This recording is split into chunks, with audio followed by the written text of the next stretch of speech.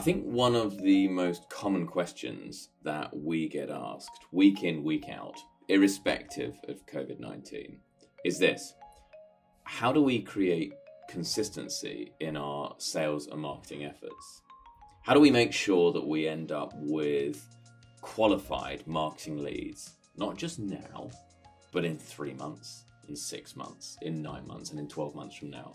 And how do we make sure that that is manageable uh, within the realms of what we are trying to achieve within our business?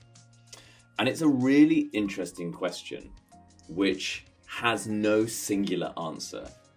And yet, at the heart of it, increasingly, we are seeing the focus on effective, strong communications and effective, strong networking.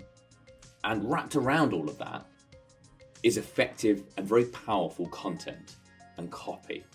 And that's delivered in a variety of different forms.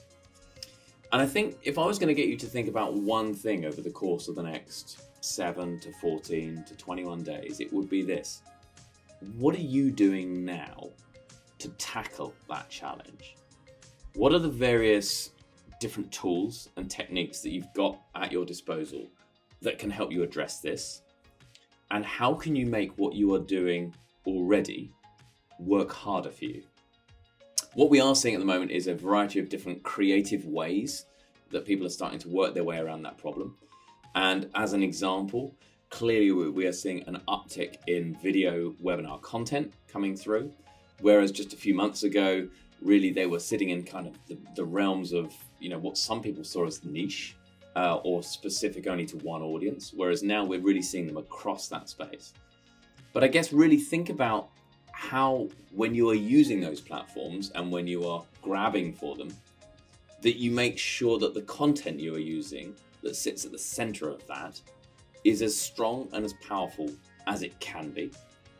And that you're also being just a little bit creative to be able to set yourself apart as a business as an and as an individual from that platform.